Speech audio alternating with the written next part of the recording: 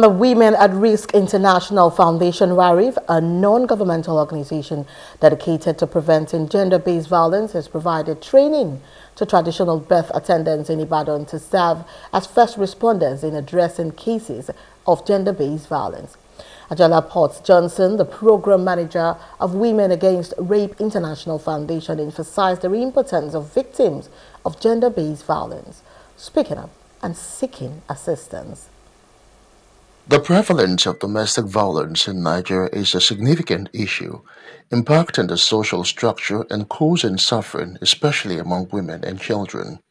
Alarming statistics from a 2019 survey by the National Bureau of Statistics revealed high rate of physical and emotional abuse amongst women.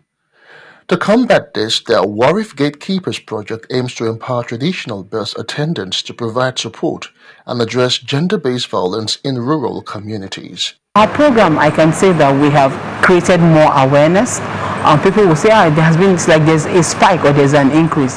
The truth is that it has been happening in time past. People keep quiet because of social-cultural norms, you know, survivor blaming and all of that.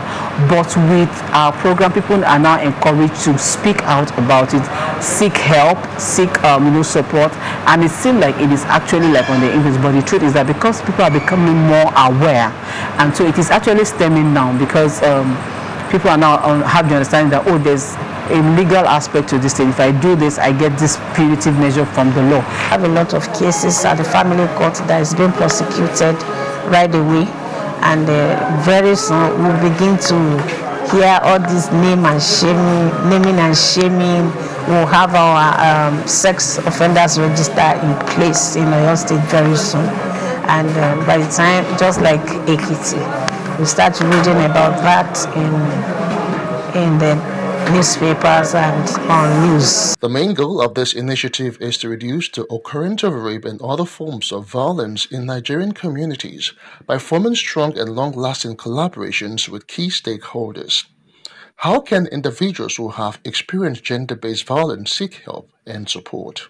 understand that um, rape is never the fault of the survivor but the fault of the perpetrator and supporting women preventing gender, um, sexual and gender-based violence is key in ensuring that women and girls attain full health status which is their fundamental human right in our community. Say something when you see something.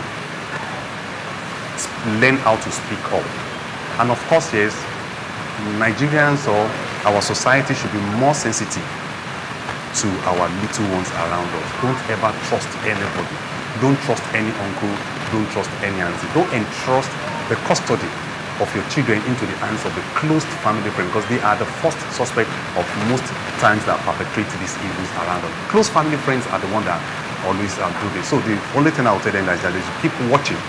Boys are having, I mean, are facing issues of sexual offenses. So I will advise parents particularly women, to be friendly with their children, to be inquisitive about them, to know what is going uh, on around them, and to create more time. The Gatekeepers program ensures that all traditional birth attendants in designated regions receive proper education and preparation to address this issue.